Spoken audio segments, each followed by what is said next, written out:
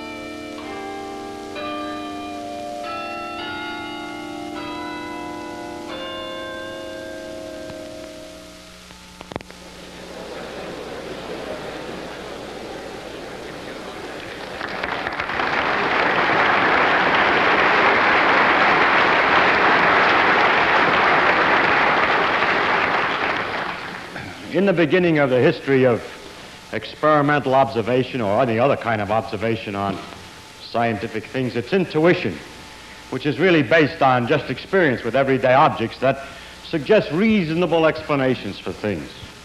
But as we try to widen and make more consistent our description of what we see, as it gets wider and wider and we see a greater range of phenomena, the explanations become what we call laws instead of simple explanations. But the one important odd characteristic is that they often seem to become more and more unreasonable, and more and more intuitively far from obvious. To take an example is the relativity theory, in which, uh, for instance, the proposition is that if, two, if you think that two things occur at the same time, that's just a subjective opinion. Someone else could conclude that those two events, those two events, one was before the other, and that simultaneity is merely a subjective impression. Now, there's no reason why this should be otherwise, really. The things of the direct everyday experience involve large numbers of particles or involve things moving very slowly or involve other conditions that are very special and represent, in fact, a very limited experience with nature. It's only through, it's a small section only that one gets of natural phenomena from a direct experience. It's only through the refined measurements and careful experimentation that we can get a wider vision. And then we see unexpected things. We see things that are far from what we would guess. We see things that are very far from what we would, could have imagined. And so our imagination is stretched to the utmost, not as in fiction to imagine things which aren't really there, but our imagination is stretched to the utmost just to comprehend those things which are there. And it's this kind of a situation that I want to talk about tonight. Start, for instance, with the history of light. At first, light was seen to behave, it would appear to behave very much like a rain of particles, of corpuscles, like rain. Bullets from a gun, same idea. Then with further research, it was clear that it was, was not right, but that light actually behaved like waves, like water waves, for instance. And then in the 20th century, on further research, it appeared that light actually behaved in many ways again like particles. In the photoelectric effect, you could count these particles, they're called photons now, and so forth.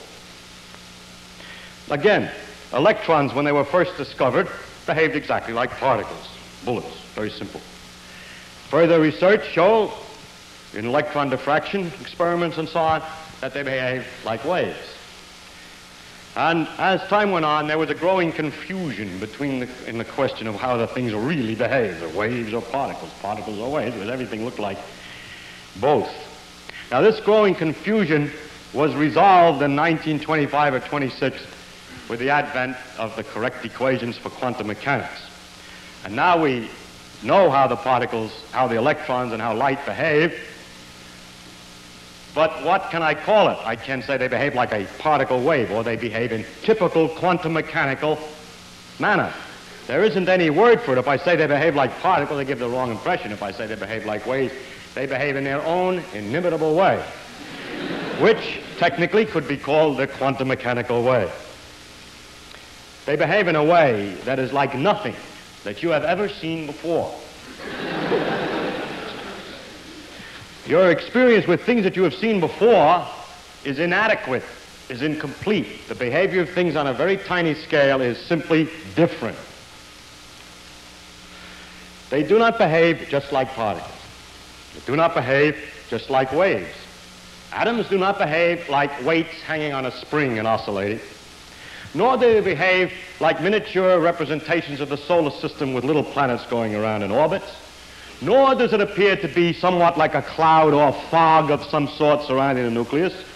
It behaves like nothing that you've seen before. Well, there's one simplification. At least electrons behave exactly the same in this respect as photons.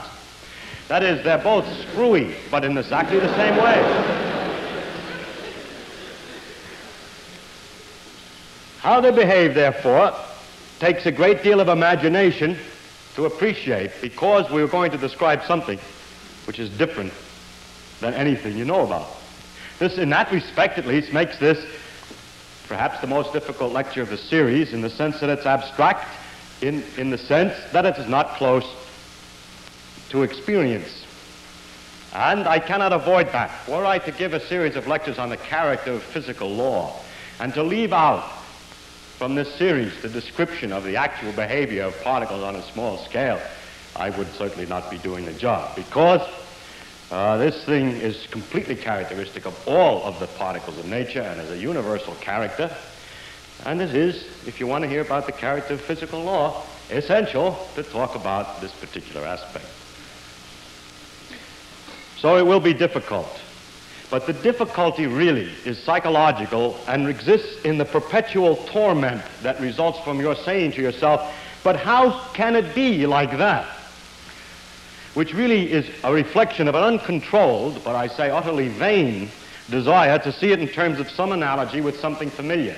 I will not describe it in terms of an analogy with something familiar. I'll simply describe it.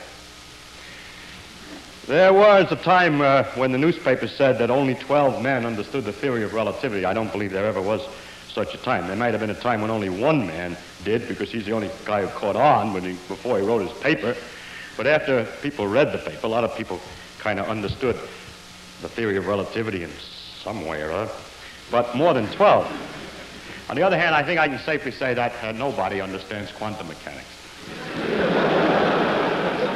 Now, if you appreciate this and don't take the lecture too seriously, that you really have to understand in terms of some model what I'm going to describe. And just relax and enjoy it. I'm going to tell you what nature behaves like, and if you will simply admit that maybe she does behave like this, you will find her a delightful, entrancing thing. So that's the way to look at the lectures, not to try to understand.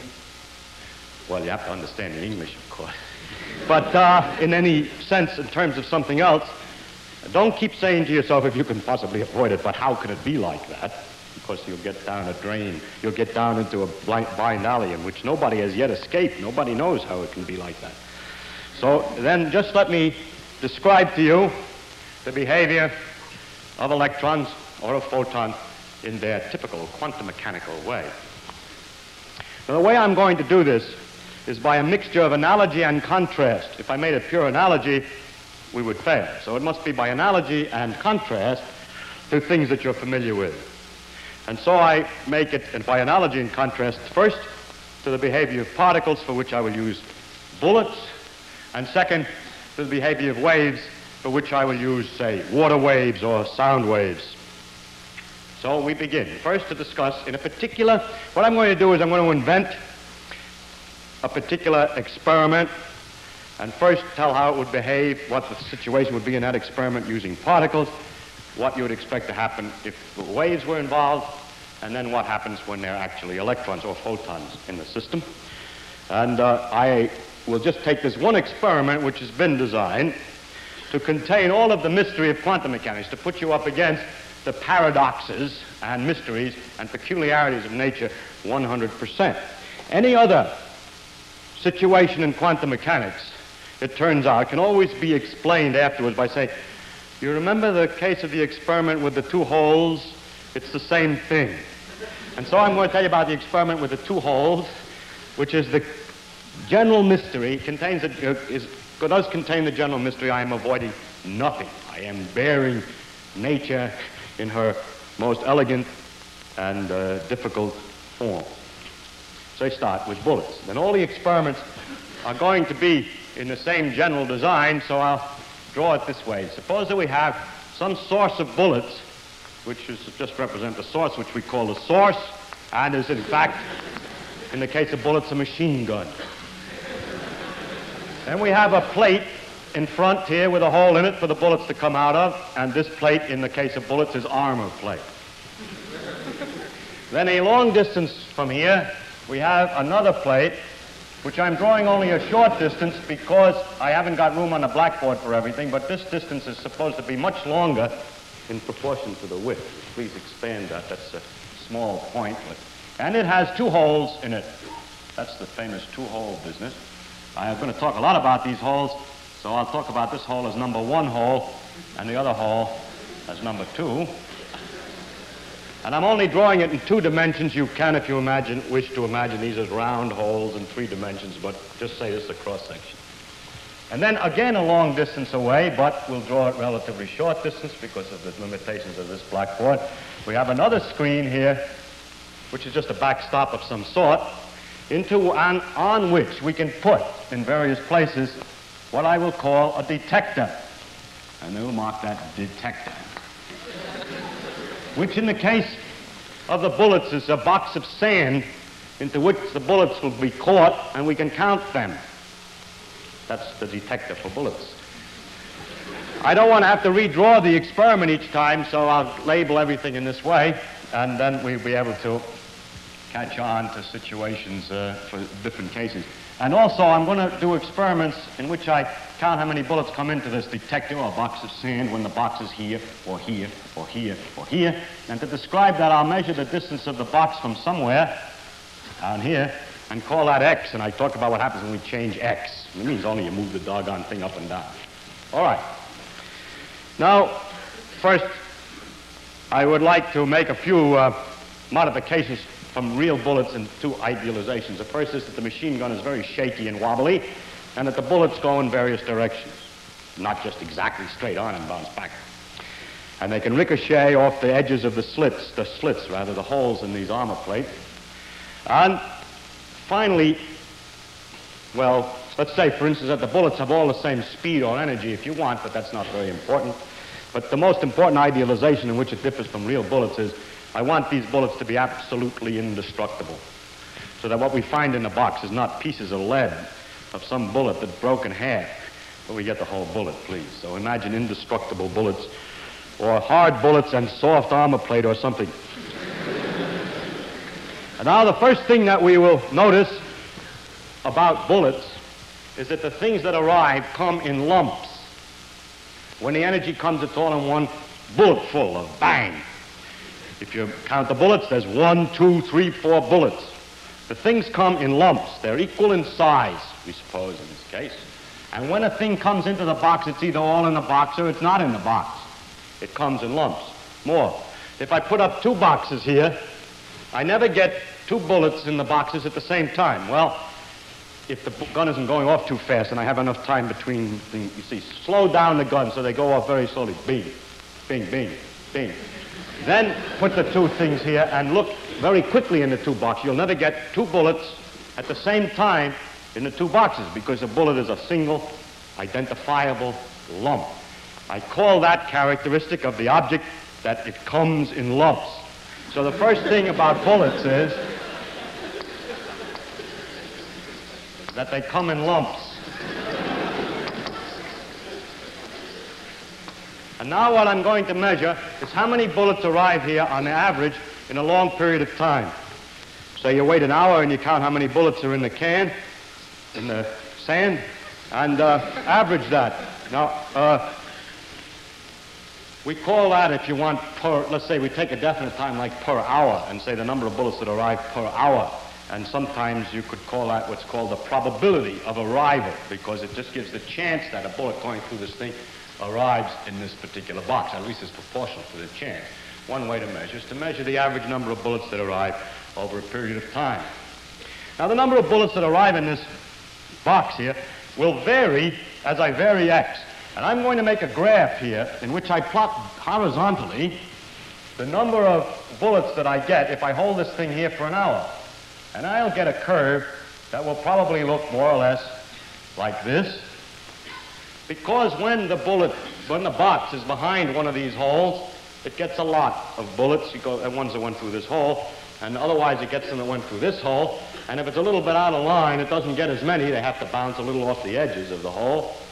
And so it disappears like this. And this is the number that we get in an hour when both holes are open. And I call that by an abbreviation N12, which merely means the number which arrive when number hole number one and hole number two are both open. Looks like that, sir. Now, I must insist that the number that we're plotting here is, doesn't come in lumps. It can have any size it wants. For example, there can be two and a half bullets in an hour. In spite of the fact that the bullets come in lumps, what I mean by two and a half bullets in an hour is that if you run a long time, like 10 hours, you get 25 bullets. So it's on the average two and a half bullets. The N can have any size. It doesn't have to be in lumps because it's an average. I'm sure you're all familiar with the joke about the fact that the average family in the United States seems to have two and a half children. It doesn't mean that there's a half a child in any family whatever. The children come in lumps. but nevertheless, when you take the average number per family, it, it can be any number whatsoever. And so this number n, which is the number that arrive in this container, per hour on the average need not be an integer. Can be a tenth, which would mean under those circumstances that you have to wait on the average 10 hours more or less per bullet. So what we measure then is the probability of arrival, which is a technical measure, of the probability of arrival, which is a technical term really for the average number that arrive in a given length of time. And now finally, if we go to analyze this curve N12, we can interpret it very nicely. We can interpret it as a sum of two curves, which I will draw here. You see, that's why I need the blackboard, for I got several cases, so I draw two curves here. One which would represent what I call N1, the number which would come if hole number two is closed by another piece of armor plate in front, and so they all come through number one. And N2 would be the number that come through hole number two alone. So N1 is the number that comes through hole number one alone, and N2 is the number that comes through hole number two alone, those numbers being determined by closing the respective holes. And then we discover a very important law, which is that the number that arrived with both holes open is the number that arrived by coming through number one hole plus the number that comes through number two hole. And this proposition, the fact that all you have to do is add these two together, I call nice, or no interference. That is, what you get from the two holes open is the same as you get by simply adding each hole separately. That's for bullets. Done. We're done with bullets. All right, I begin again. This time with water waves. Here is standing some kind of a big mass of stuff which is being shaken up and down. This is a long line of barges or jetties with a gap in the water in between. Perhaps it's better to do it with ripples than it is to do it with big ocean waves that sound more sensible. I wiggle my finger up and down here, and I have a little piece of wood here, and ripples start out here, and then I've arranged in a tank to put boards in the way here so that I have these two holes. And then I have this so-called detector, and what I do with the detector, what the detector detects is how much the water is jiggling. For instance, I put a cork in the water and measure how it moves up and down. And what I'm going to measure, in fact, is the energy of the agitation of the cork, which is exactly proportional to the energy carried by the waves.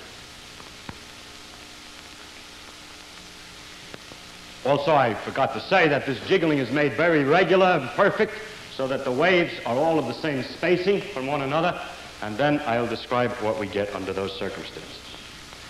For that, I first remark, well, let's see, uh, First, we can measure the energy of the cork, but then another thing is important for light, uh, for uh, water waves, for waves, water waves, is that the thing that we're measuring can have any size at all. We're measuring the intensity of the waves or the energy in the cork. And if the waves are very quiet, if the fellow over here is only jiggling a little bit, then there'll be very little motion of the cork, and so on. No matter how much it is, it's proportional. So uh, can have any size.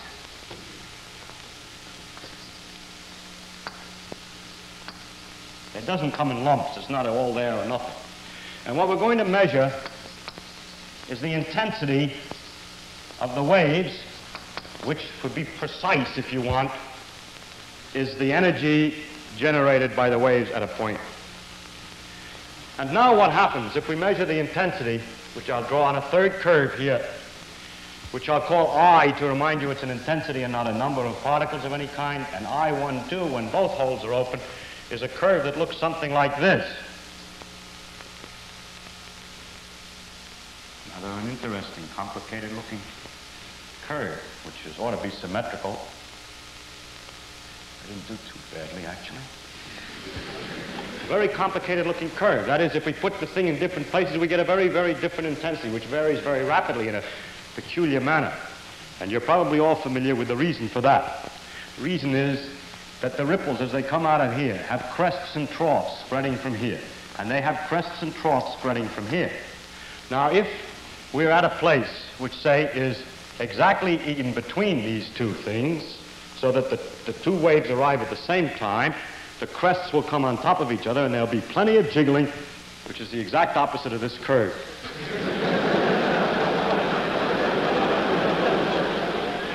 so I'll have to put, there should be another bump. We have a lot of jiggling right in dead center. On the other hand, if I were to move to some point here, since I'm further from hole two than hole one, it takes a little longer for the waves to come from two than from one. And when one has a crest arriving, the crest hasn't quite reached there yet from two. In fact, it's a trough from two. So the water tries to move up and it tries to move down from the influences of the waves coming from the two holes. And the net result is it doesn't move at all, or practically not at all. And so we have these low bumps at that place. And then if you move still further over, you get enough delay that when a crest is here, this other crest is in fact one whole wave behind. So in fact, it's a crest that is, two crests are coming on top of each other, but not the same crest, so to speak. The fourth crest from here and the fifth crest from there on top. So you get a, a big one again, then a small one, a big one, small one, depending upon the way the crests and troughs interfere, as we say. The word interference, again, is used in science in a funny way because uh, we'll have what we call constructive interference. When they both interfere here, it makes it stronger. Well, they call it interference anyway, but the very important thing is that I12 is not the same as I1 plus I2, and we say it shows interference. Yes, interference. That's a funny term. We use it. Constructive and destructive interference.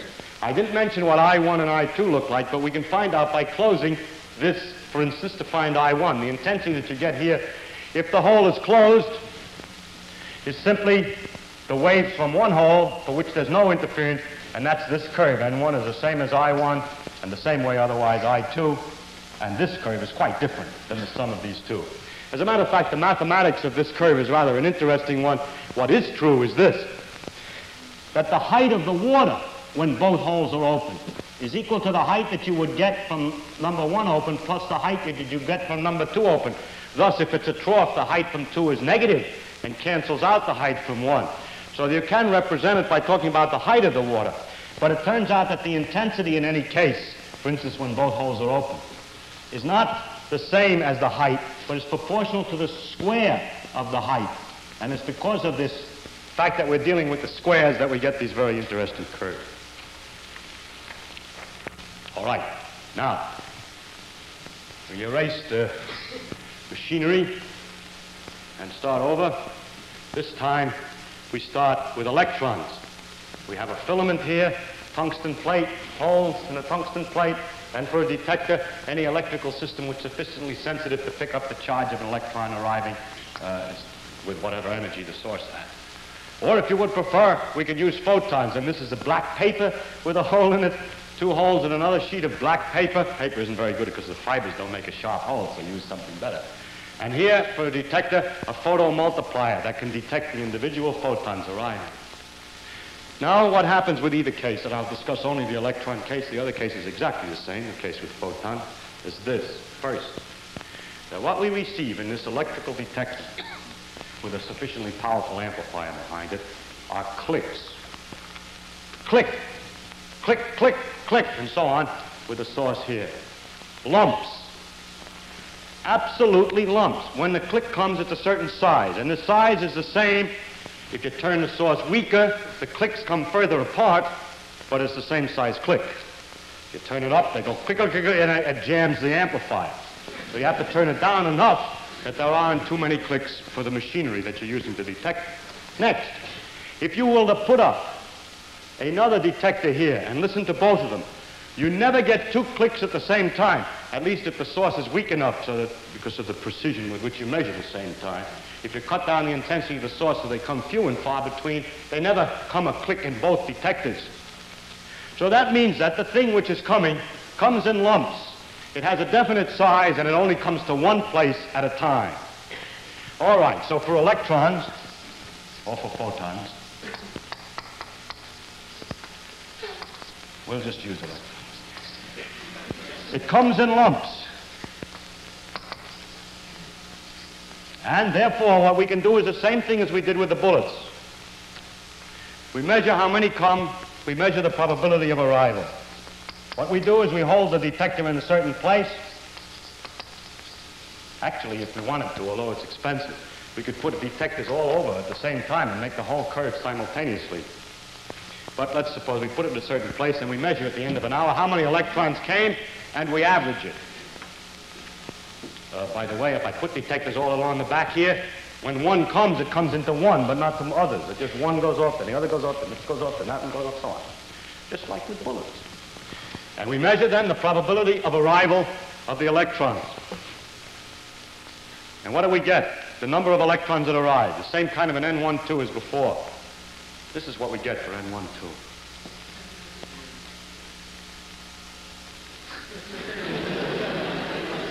And one, two, is this is what we get with both holes open.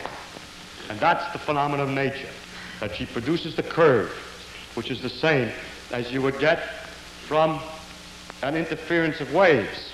But she produces a curve for what? Not for the energy in a wave, but for the probability of arrival of one of these lumps. The mathematics is simple. You change I to N, and you have to change H to something else, which is new. You call it something because it's not the height of anything, but in order, this curve has a simple mathematical form. There's an A, which can be represented as an A1 plus an A2, which we call a probability amplitude because we don't know what it means, which to arrive from hole 1 plus the probability amplitude to arrive from hole 2, and you add the two together to get the total probability amplitude to arrive and square it. Just direct imitation of what happens with the waves because we've got to get the same curve out, so we use the same mathematics. Let's find out, I'd better check on one point though, about the interference I forgot to say. What happens if we close one of the holes? Let's try to analyze this interesting curve, which now, for electrons, I erase all the stuff with the light. Well, everything with light is erased. And now we're talking about electrons. This curve isn't important in our case. This is the number which arrives. Now, we would like to analyze this curve.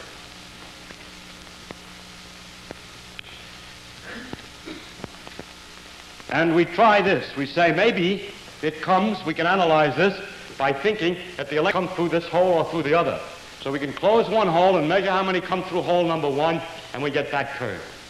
Or we can close this hole and measure how many come through hole number two, and we get that curve. And these two added together is not this, and so this is not the same as N1 plus N2, and it does show interference. It shows interference. And in fact, the mathematics is given by this funny formula that the probability of arrival is the square of an amplitude, which itself is the sum of two pieces.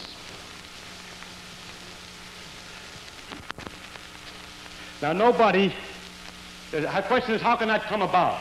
That when they go through hole one, they would be distributed this way. When they go through hole two, they would be distributed that way. How could it be that when both holes are open, you don't get the sum of the two? In instance, if I hold the detector at this point here, I get practically nothing. If I close one of the holes, I get plenty. If I close the other hole, I get something. If I leave both holes open, I get nothing. If I let them go through both holes, they don't come anymore. Or take the point in the center. You can show that that's higher than the sum than it was in the other case, than the sum of these two. I get more here when both holes are open than I would get with either one of the two closed. Now, you might think that if you were clever enough, you could argue that they have some way of going around through the holes back and forth and they do something complicated or it splits in half and goes through the two holes and so forth in order to explain this phenomenon. Uh, nobody, however, has succeeded to get uh, an explanation of this that's satisfactory because the mathematics in the end is so very simple. The curve is so very simple. I will summarize then by saying that electrons arrive in lumps like particles. But the probability arrival, of arrival of these lumps is determined like the intensity of waves would be. And it is in this sense that the electron behaves, as you might say, sometimes like a particle and sometimes like a wave. It behaves in these two different ways at the same time. And that's all there is to say. I give a mathematical description to figure out the probability of arrival of electrons under any circumstances and so on, and that would, in principle, be the end of the lecture, except that there are a number of subtleties involved in the fact that nature works this way. There's a number of peculiar things. And uh, I would like to discuss those peculiarities because they may not be self-evident at this point. So uh, to discuss the subtleties, we begin by discussing a proposition uh, which we would have thought to use since these things are lumps. Since what comes is always one complete yeah, which I'll call an electron, one complete lump, one complete electron. We will, it's obvious that it's reasonable that either an electron arrives or goes, let's say, that either an electron goes through hole number one or it goes through hole number two. That seems like it goes through hole number two. That seems very obvious that it can't do anything else if it's a lump. And I'm going to discuss this proposition, so I have to give it a name. I'll call it Proposition A. Now, we've already discussed a little bit what happens with Proposition A. If it were true that an electron either goes through hole number one or it goes through hole number two, then the total number which arrive here would have to be analyzable as a sum of two contributions. The total number which arrive here will be the number that come here via hole 1 plus the number that come via hole 2.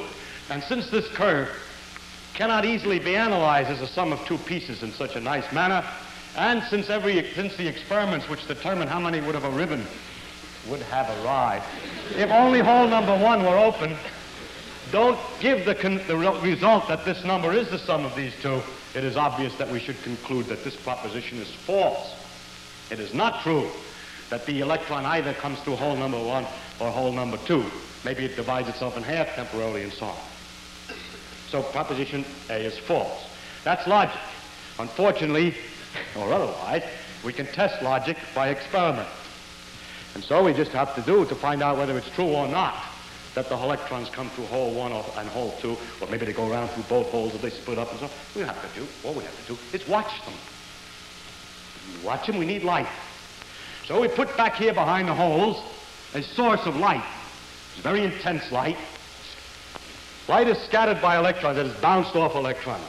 And you, in other words, you can see electrons if they go by if the light's strong enough. So we stand back here and we look to see whether we see when the electron is counted here a flash, or have seen the moment before the electron's counted here, a flash behind hole one or a flash behind hole two, or maybe a sort of a half flash in each place at the same time because we're going to find out now how it goes by looking. Well, you turn on the light and look, and lo, you discover that you see flashes behind either one hole or the other hole every time you get a count here. Every time there's a count here, you see a flash behind number one or behind number two. What you see is that the electron comes 100% complete through hole one or through hole two. When you look, kind of a paradox. Well, let's squeeze nature into some kind of a difficulty here. I show you what we're going to do, see? We're going to keep the light on, we're going to watch. And you're going to count, we're going to count how many electrons come through. And we're going to make two columns. Go, I'll watch the holes very carefully while you please count how many are arriving in the detector. All right, you say, it. one arrived. I said, I saw that when it went through hole number one. so we put here, a, we put here two columns, which is column one for number one hole and number two hole. And every time you get one, you tell me you got one. I have seen it, of course. And I say either number one or two. The first one was one. What's the next one? Number two. All right. Number two. Number two. Number one. So. Hmm? So as we watch the electrons, as I watch the electrons, for every one that you count, I can separate them experimentally into two columns. Them what have arrived via hole one, and those, I know the English is right, I'm just trying that arrived via hole two. So the number, the total number that arrived, well, first, what does this column look like when you add it all together for different positions here, which is just the number that is supposed to have come through one? I watch behind one, and what do I see? I see this curve. That number column is distributed this way. Just like we thought when we closed hole two. Works the same way whether we're looking or not. If we close hole two, we get the same distribution in those that arrive as if we are watching. And the, likewise, the number that in this column that is supposed to arrive via hole number two is also this simple curve. Now look, the total number which arrive has to be the total number. I'm just counting little marks. It has to be the sum of this number plus that number. The total number which arrive absolutely has to be the sum of these two. It has to be distributed this way. But I said it was distributed this way. It's distributed this way. It really is, of course, it has to be. It is. It's distributed this way. If then we mark with a prime the results when a light is lit, prime means with a light lit, then we find N1 prime is practically the same as N1 without the light, and N2 prime is almost the same as N2. But the number that we see when the light is on is not is equal, is equal to the number that we see through 1 plus the number that we see through 2. This is the result that we get when the light is on. In other words, we get a different answer whether I turn on the light or not. If I have the light turned on, this is the distribution which you measure over here. If I turn off the light, this is the distribution that you measure over here. Turn on the light, this is the answer. Turn off the light, that's the answer. See, nature squeezed out. now, we could say then that the light affects the result. If the light is on, you get a different answer than if the light is off. If you want to, you can say the light affects, it does affect. In fact, we found this by this experiment. We get a difference with the light on and off. Light affects the behavior of electrons.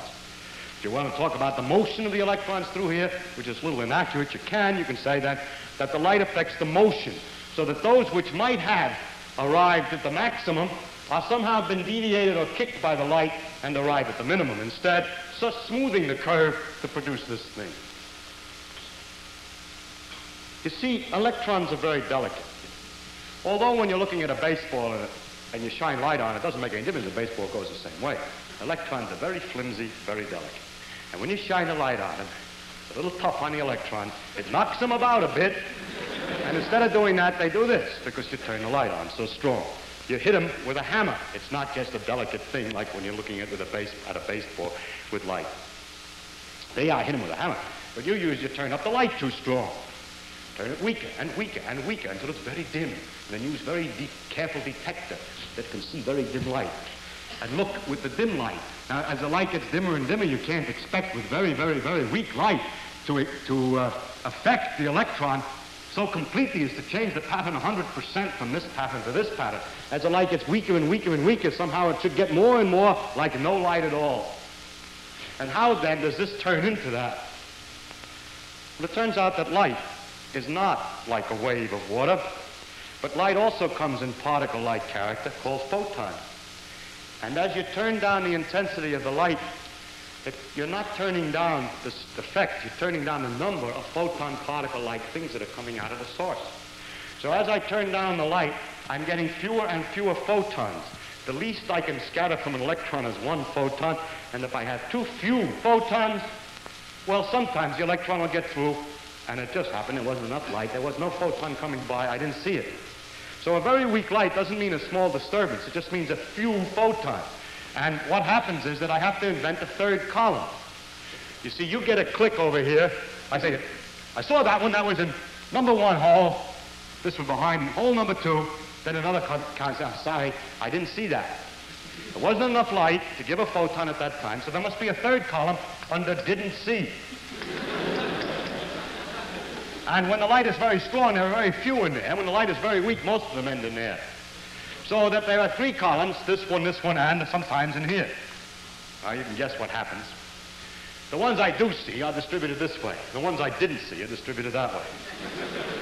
and as I turn the light weaker and weaker, well, I see less and less of them with greater and greater fraction are not seen, and the actual curve in any case is a sub of a mixture of this and this, and as the light gets weaker so that fewer and fewer are seen, it gets more and more like that in a continuous fashion. So,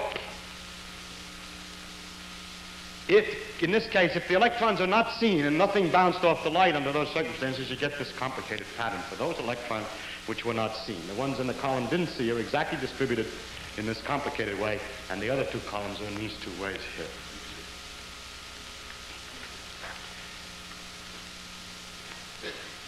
Now, you say, I got another way to measure whether, which hole it goes through.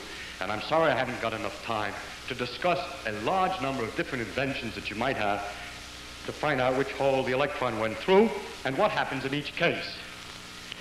Uh, it always turns out, however, that it's impossible to arrange the light in any way so that you can tell through which hole the thing is going without disturbing the pattern of, of arrival of the electrons from this form to this form, without destroying the interference. And not only light, but anything else. You use neutrinos, you use anything.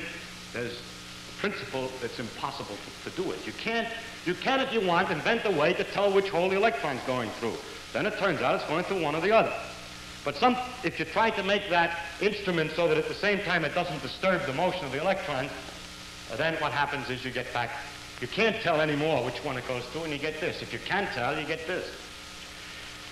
Heisenberg noticed when he discovered the laws of quantum mechanics that the new laws of nature that he discovered could only be consistent if there was some basic limitation to our experimental abilities that had not been previously recognized.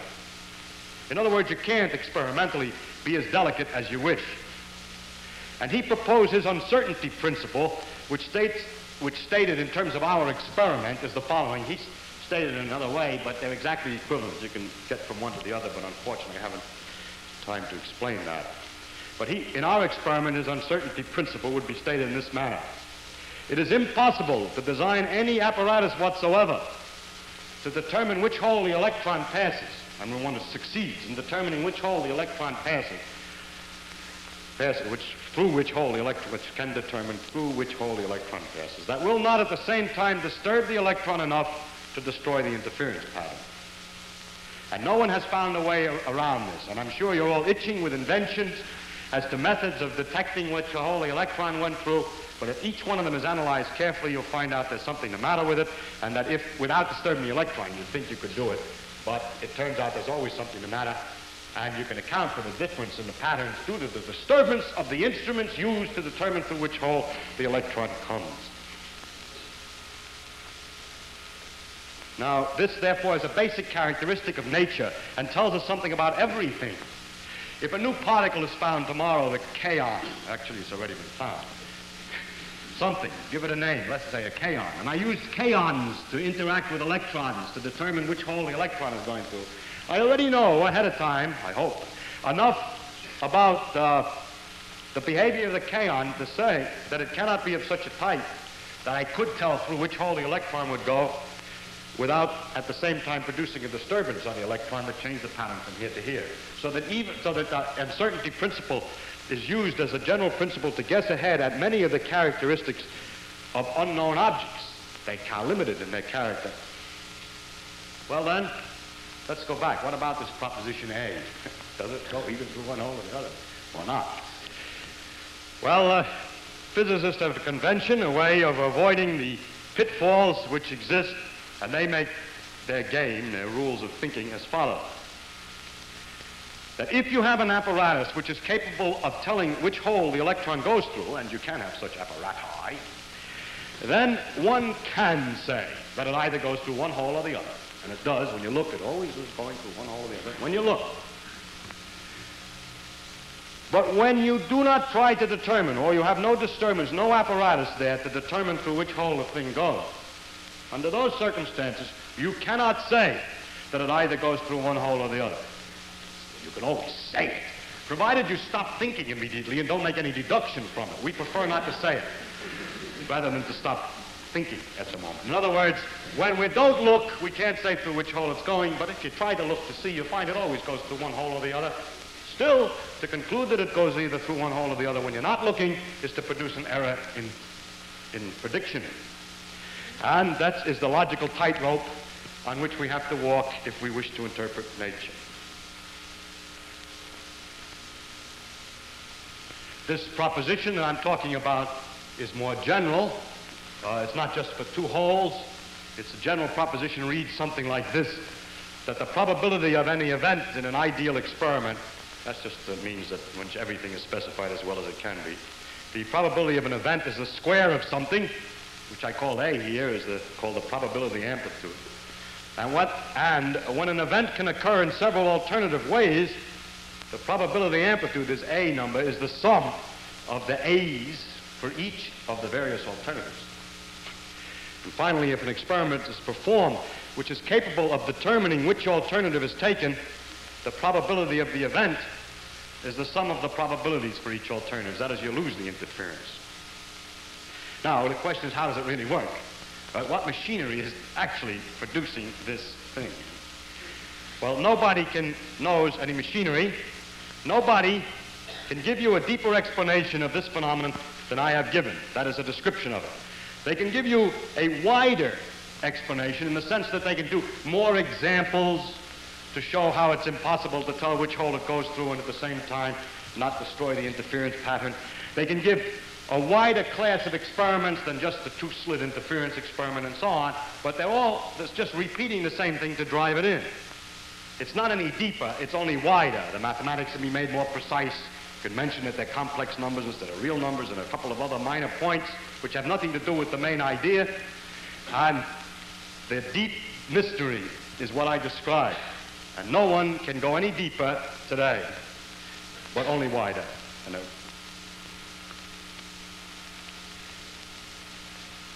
Now, I mentioned probabilities in this calculation. What we're calculating here, this curve, is the probability of arrival of an electron. The question is, is there any way to determine where it really arrives? We are not averse to using the theory of probability, that is calculating odds, when a situation is very complicated, you throw up a die and it spins so many times in the air with the various resistors and atoms and all this complicated business that we're perfectly willing to allow that we don't know enough details and so we calculate the odds that the thing will come this way or that way.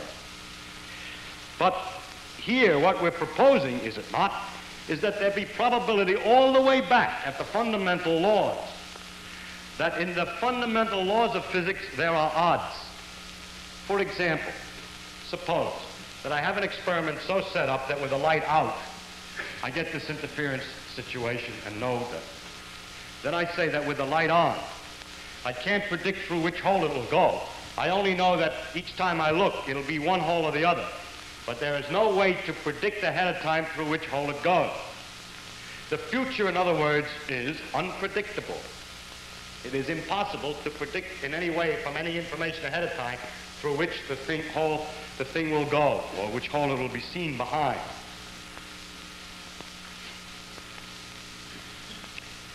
That means that physics is kind of given up if the original purpose was, and everybody thought it was, to know enough that in given the situation, you can predict what's going to happen next. Given the circumstances, you can predict what happened. Here are the circumstances. Source, strong light source, Tell me which hole, behind which hole will I see the electron? You say, well, The reason you can't tell through which hole you're going to see the electron is it's determined by some very complicated things back here. If I knew enough about that electron, it has internal wheels, internal gears, and so forth, that the fact, and that this is what determines through which hole it goes. So it's 50-50 probability because like a die, it's set sort of at random. And that if I were to have studied it carefully enough, your physics is incomplete. If you get a complete enough physics, then you'll be able to predict through which hole it goes. That's the hidden variable theory, so-called. Well, that's not possible. It is not due to a lack of detailed knowledge that we cannot make the prediction, because I said that if I didn't turn on the light, I should get this interference pattern. If I have a circumstance in which I get that interference pattern, then it is impossible to analyze it in terms of saying it goes through here or here. Because that curve is so simple, mathematically a different thing than the contribution of this and this as probability.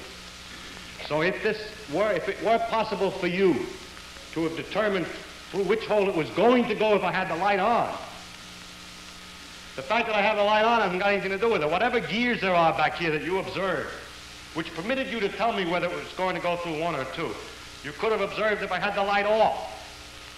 And therefore you could have told me with the light off what hole, each time an electron goes, which hole it's going to go through. But if you can do this, then that curve would have to be represented as a sum of those that go through there and those that go through there, and it ain't. And therefore, it's impossible to have any information ahead of time as to which hole it's going to go through when the light is out or when the light is on or out in a circumstance where the experiment is set up there can produce this interference.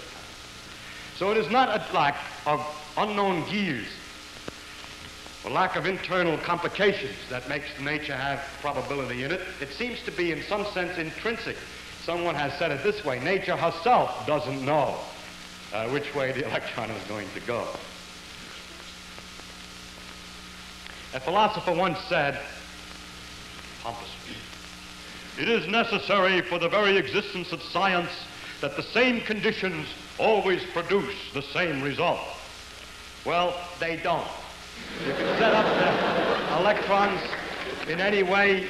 I mean, you set up the circumstance here in the same conditions every time, and you cannot predict behind which hole you'll see the electron. They don't, and yet the science goes on in spite of him, although the same conditions don't produce the same results. That makes us unhappy that we can't predict exactly what will happen. Incidentally, you can make a circumstance which is very dangerous and serious, and man must know and still can't predict. For instance, we could cook up, I know we'd rather not, but we could cook up a scheme by which we arrange photocells so that if it see the electron, behind, one electron is going to go through. If we see it behind hole number one, we set off the atomic bomb and start World War III. If we go see it behind hole two, we have just to make peace feelers and delay the war a little longer. Then the thing is that the future of man would then be dependent upon something which no amount of science can predict. Our world is the future is unpredictable. What is necessary for the very existence of science and so forth, and what the characteristics of nature are, are not to be determined by pompous preconditions. They're to be determined, they are determined always by the material with which we work, by nature herself. We look and we see what we're going to find, what we find, and we cannot say ahead of time successfully what it's going to look like. The most reasonable possibilities turn out often not to be the situation. What is necessary for the very existence of science is just the ability to experiment, the honesty in reporting results. The results must be reported without somebody saying what they'd like the results to have had been. And finally, an important thing is the intelligence to interpret the results, but important point about this intelligence is that it must not, it should not be sure ahead of time about what must be. Now it can be prejudiced and say that's very unlikely. I don't like that. Prejudice is different than absolute certainty. I don't mean absolute prejudice, just bias. But not strict bias, see, not, not complete prejudice. As long as you're biased, it doesn't make any difference because if the fact is true, there will be a perpetual accumulation of experiments that perpetually annoy you until they cannot be disregarded any longer. Only can be disregarded if you're absolutely sure ahead of time of some precondition that science has to have. In fact, it is only necess- it is necessary for the very existence of science that minds exist which do not allow that nature must satisfy some preconceived conditions like those of our philosophy.